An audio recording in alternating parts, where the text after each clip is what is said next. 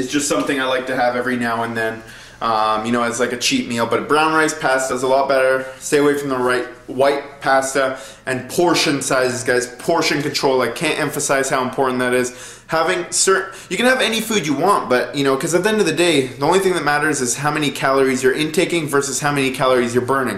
If you're not even intaking as many as you're burning, you're not even going to gain weight. So um, just don't go overkill with some of these foods, you know, and you'll be awesome with it. So next thing I have, oh, what do we have here? Dark chocolate. So, dark chocolate, guys. Um, these aren't mine. No, I'm kidding. They are mine. I put them in my oats every now and then, so I'll throw like three or four in my oats just to give it some flavor, you know, if I'm really feeling down. Um, but I'd rather do that instead of going and getting, you know, a cheat meal instead of getting some junk. That is a cheat meal, guys. So you can still look forward to great things. Um, if I'm not close to a show or a photo shoot, why not? You know, you can enjoy life a bit. Um, enjoying life doesn't mean going to McDonald's. That's screwing your life. So make a smart decision there spices, condiments. What's here? I have cinnamon, I have sea salt, pepper, lemon pepper, uh, vanilla extract, Cajun spice, paprika, chili spice, curry. Why do I use those? Those uh, things like cinnamon are blood sugar regulators. They control your blood sugar levels, your insulin levels, so they're not jumping all over the place, going up and down. You're more likely to store fat that way. Your energy levels, um, even depression can be increased with that, guys. So stay away from foods that are going to do that to you, but stick with foods that will help with that. Um, the cinnamon is going to control that, but they're also more than anything.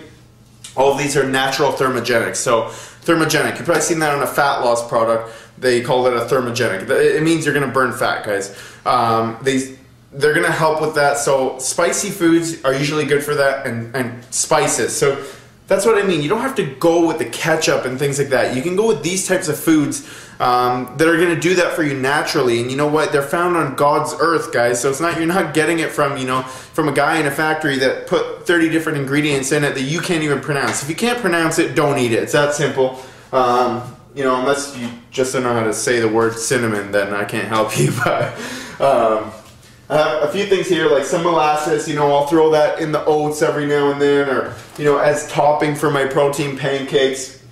Um, coconut oil. So this is what I put on my skin. Um, it should be in the washroom, but no, I'm just kidding. It's uh, you could cook with this in the pan. You can use it. You know, it, it's actually good for your skin as well. So a lot of people don't know that. Um, and you know what? It's great, guys. It's a good source of fats, so it can go along here with the rest of the fats. I use Pam every now and then to cook with, um, but I'll use coconut oil as well. Another thing I want to show you, I got Tabasco all stacked up there. Tuna, uh, canned tuna is great. You know, we all had it when we were like 16, 17 years old. We know that. I still eat it every now and then. Um, why? For a couple reasons. It's a good source of protein. Um, it, you know, any fish is good. Um, it's a good source of protein, but you know what? It, it's for what you pay for it, it's great. So, you know, you're not paying too much for it. The only thing I would recommend is don't buy any flavored ones. What I would do is rinse it in the water. So, drain it a couple times, strain it a couple times. Um, and that way you get the sodium out of it because they use sodium to retain it, to store it. Um, so, drain it out so the sodium gets depleted from it and then spice it up yourself with spices. Um, a tip, use salsa in it. You'll love it. Salsa and lemon's great. Another thing I didn't show you. Sorry for to show you guys this White fish. So I have a lot of white fish here, tilapia. Why do I use tilapia um, as opposed to a salmon? I like salmon, you know, it's a good source of fat, but if I'm trying to get lean or trying to maintain a low body fat, um, there's very little fat in this, no carbs in it. It's high in protein. Um, you know, so for what you're getting, it's really good. Um, tilapia is a great fish. Um, cod is another great fish. Orange roughy is another great fish. So white fish are excellent, guys. Um, so we're all done there. Showed you everything I wanted to show you. Let's come over here. So, damn, I didn't even know I had this many. Another almond butter. Another almond butter. Oh man. Sometimes I just buy them. I don't even think about it, right? So, have some teas, you know, green tea, things like that. Um, Mexican coffee. Sorry, sorry uh, Hawaiian coffee. Uh, Mexican hot chocolate. I got there's a Hawaiian coffee there. Um, I got a little stack here of brown rice, some more oats. These are not gluten free, they're regular. Some more almond milk. I got some slivered almonds. So as you can see guys, the fats are amazing. Fats are what just, you know, it's all about being healthy. Before before putting your body um, first, you know, which some people do by taking certain things that they shouldn't. Don't put your body first. Put your health first, and your body will follow. And that's that's the most important thing, guys. When you're in a positive, healthy environment, when your body is in that um, alkaline state, so it's not acidic, right? Um, that's why I use a lot of lemons and limes on in my water, in my on my salad, to keep your body alkaline. So when your body's alkaline, I believe over if you're under, it's on a scale of zero to fourteen. Um, if you're like a 7 or below, you're considered acidic. Um, 9 or above is good. So you can do that test. You can go anywhere and get it done to any health store and get the strips. Um, and you, you know, you can see your alkaline or acidity level.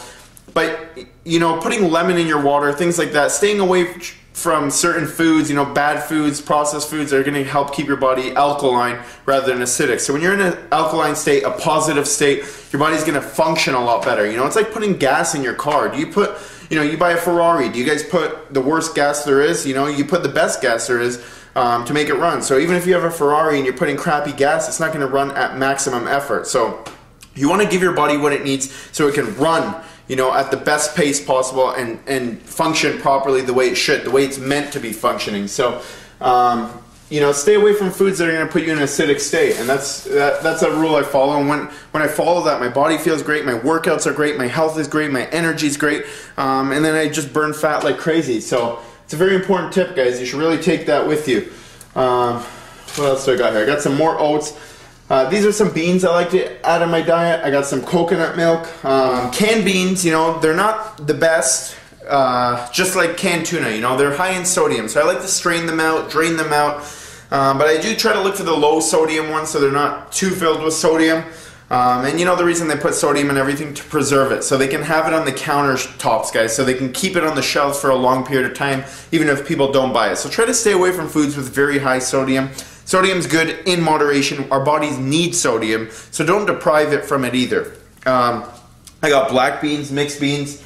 Um, but you know what? I just put that in a salad. You know, it makes it taste great. Just try not to go overload on it because they are high in carbs. Um, but you know what? A lot of foods are high in carbs, good carbs, but it, it's all about moderation, knowing when to have it at the right times. And that's for another video, but I'm going to definitely keep up to date with you guys and show you when to eat certain really foods. hope that you guys learn from this.